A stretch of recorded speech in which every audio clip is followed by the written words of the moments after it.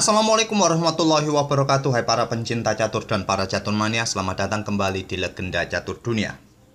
Kita kembali ke FIDE Grand Prix 2022 Yang diadakan di kota Belgrade, Serbia kawan Yang sudah memainkan babak knockout atau babak semifinal hari pertamanya tadi malam. Selepas kemarin lusa memasuki hari jeda kedua.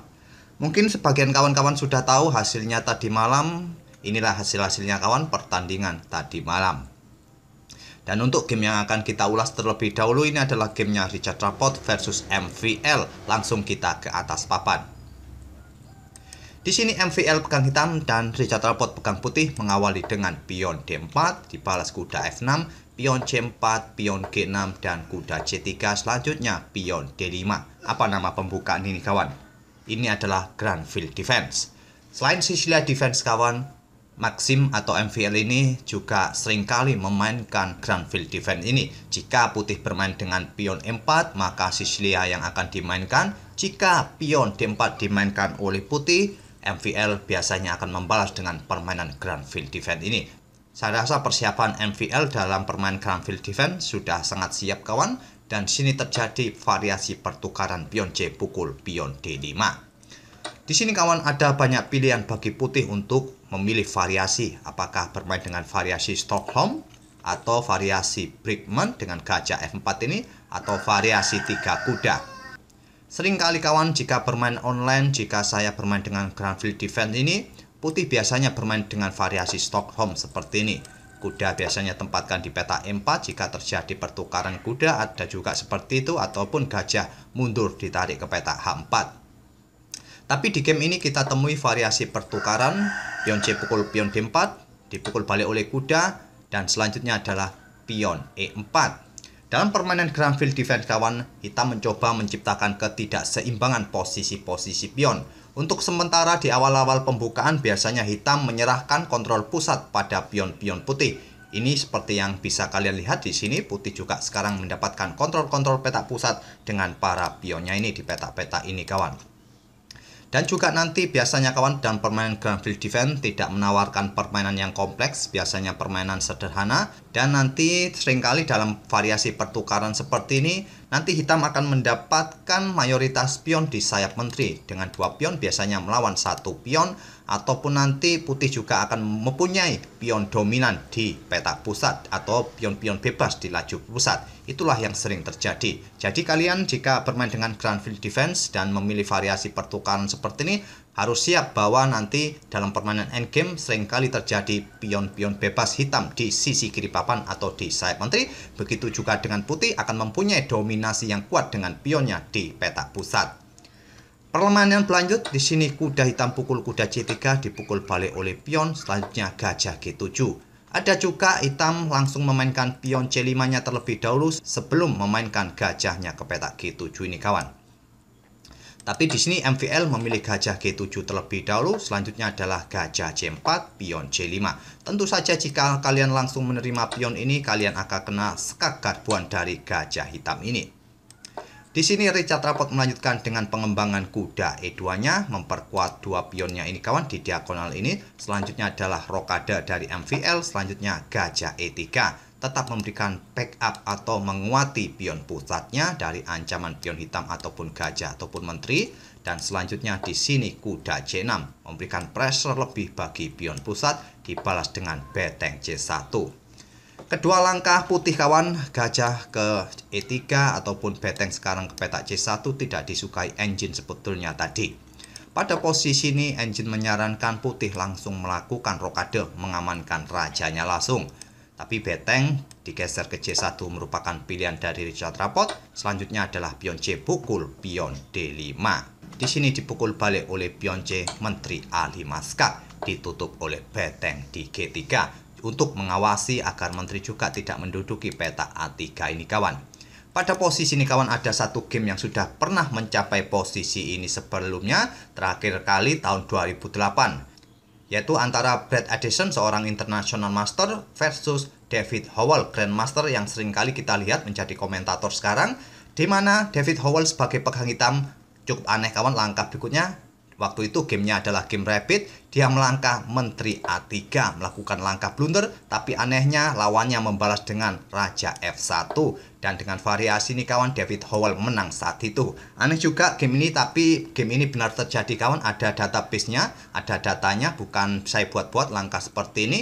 Tapi di sini kawan, hitam atau MVL memilih dengan pion E5 dan ini merupakan langkah baru yang belum pernah dimainkan sebelumnya di langkah ke-12 ini. Tantangan pion ditolak, pion D didorong maju ke D5 mengancam kuda, kuda lompat ke D4 menyisipi peta pusat kawan dalam kepungan para perwira putih ini. Langkah ini tidak disukai engine atau langkah ini juga kurang akurat. Pada posisi ini kawan saat ada ancaman dari pion putih, hitam bisa membalas juga dengan ancaman pion B5 terhadap gajahnya. Jika gajah ini ditarik mundur ke peta D3 kawan bisa kalian kejar dengan kuda ke B4 atau jika gajah ini ditarik mundur ke peta B3 barulah sekarang kalian bisa memainkan kuda kalian ke peta D4. Tapi MVL memilih langsung menempatkan kudanya di antara para perwira putih ini kawan di peta D4 Tujuannya ingin mengeliminasi kuda, nanti dia bisa mendapatkan beteng di peta C3 ini. Ancaman ini diantisipasi dengan gajah D2, memblokade pimpinan dari Menteri Hitam, juga persiapan discover attack ataupun di langkah berikutnya kuda siap pukul kuda hitam. Di sini MVL membalas dengan gajah D7 melanjutkan pengembangan. Pion F5 juga bisa jadi pertimbangan bagi hitam kawan langsung untuk menyerang pion putih di peta pusat. Tapi MVL lebih memilih melanjutkan pengembangan untuk mengkoneksikan kedua beteng persiapan untuk digeser ke lajur-lajur pusat ini nanti kawan di sini mungkin. Dan dijawab dengan langkah kuda pukul kuda. Oleh Richard Rapot langsung mengeliminasi kuda yang cukup mengganggu di peta pusat dipukul balik oleh pion Beteng kembali turun ke C1. Selanjutnya Menteri A3 dan di sini Menteri B3. Balas Richard Rapot menantang pertukaran. Diterima dipukul balik menggunakan gajah agar lajur C terbuka bagi betengnya menuju baris ke-7 nanti kawan. Kalau beteng sudah menempati baris ke-7 ini, kalian sudah paham. Sangat merepotkan bagi lawan nanti. Di sini tidak diantisipasi oleh MVL dengan menggeser beteng ke lajur C menantang pertukaran agar beteng putih tidak mendepati baris ke-7 ataupun dengan beteng F ini kawan.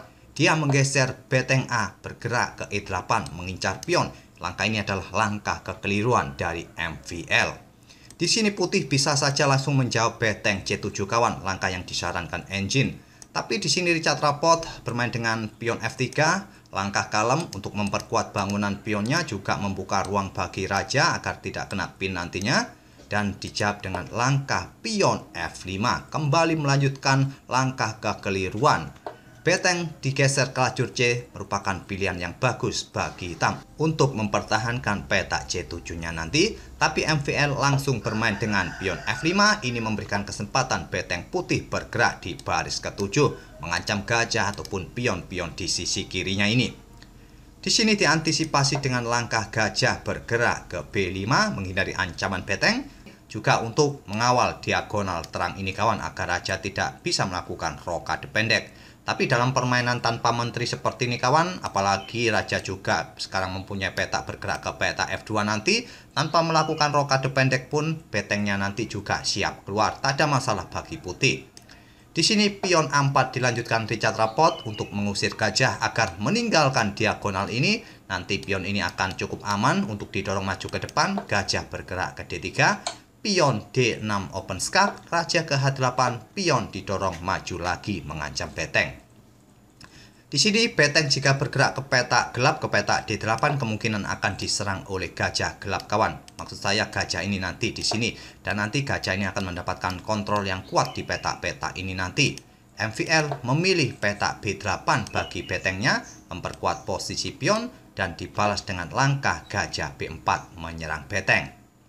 Beteng tidak diperdulikan lagi kalaupun bergerak ke peta ini masih bisa diserang lagi oleh gajah. Jadi pada posisi seperti ini MVL memilih menyerang beteng putih juga dengan gajahnya di E5.